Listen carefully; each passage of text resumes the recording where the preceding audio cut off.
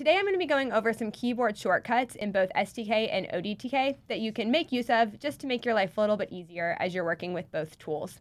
STK actually has a list of some of the standard keyboard shortcuts in the STK help. So there's a whole list here. You can print this out, post it up on your desk um, as reference, and it's just going to help you with a lot of your common tasks such as saving a scenario, opening a scenario, exiting the application, things like that. Um, I know one of the ones I use a lot is Control S. I use that both in STK and really throughout any applications I'm using in Windows. Um, save often, especially with STK. You don't want to ever lose your work. Um, and so it's just easy to do quick Control S and save my STK scenario. So in addition to some of the ones that are here in the documentation, there are some other sort of generic Windows shortcuts that actually work in STK as well. Um, so back here in STK, one of my favorites is when you're trying to rename um, either a um, object here in your object browser or maybe rename a report style in the report and graph manager. You traditionally have to do what I call the slow double click. So click twice, but not double click, which will open the properties. And that works. Um, but if you get frustrated with that and can't quite get the click, you can hit F2, which will allow you to rename that object. If you're on a laptop like I am, you might have sort of those dual function buttons where your F1, F2, whatever, also have another purpose. So in my case, I have to hit function F2 to get that to work. But if you're on a traditional desktop keyboard, you can probably just hit F2 and see how that right there changed it so that I'm in the rename mode for that object. And that works in a lot of different places in STK and it works in ODTK as well. So switching applications over here, I'm in ODTK, in this case in the report and graph manager um, called the static product builder in ODTK. I can do the exact same thing, function F2, and then I'm able to rename that report. Back into STK, I'll open up the report and graph manager here for STK. Um, another handy thing is that in long lists of items in STK and in ODTK, you can jump to uh, the, the item that you're interested in by hitting the key on the keyboard of the first letter of that name.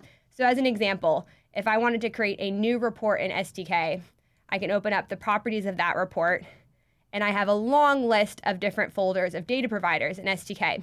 So if I'm interested in the eclipse times of the satellite, instead of scrolling all the way down to the E's, I can just hit E, and then I'm down in that section, and I can quickly get to the eclipse times that way.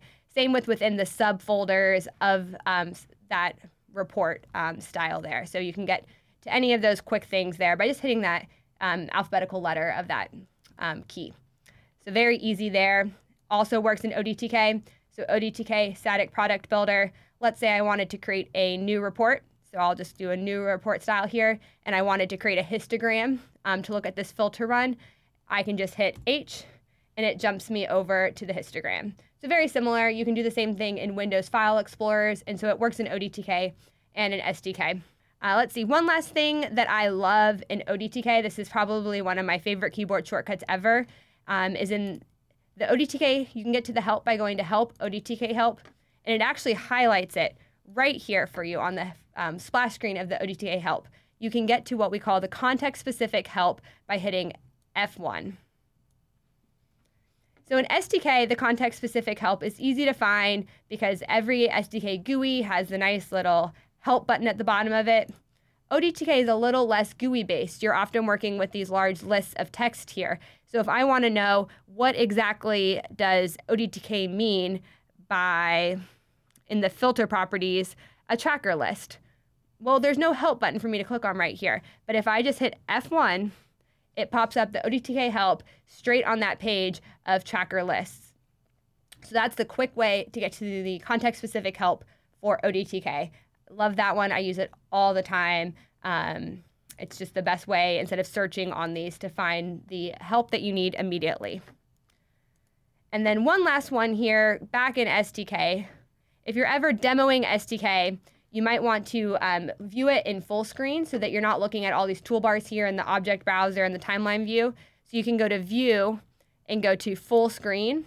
So in this case, I've brought up my full screen of my integrated uh, workspace, which was just my 3D window uh, for this one.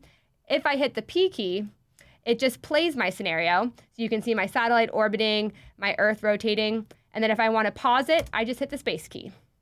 So this is a nice, quick way to demo STK without the clutter of the other windows and make use of some of those keyboard shortcuts.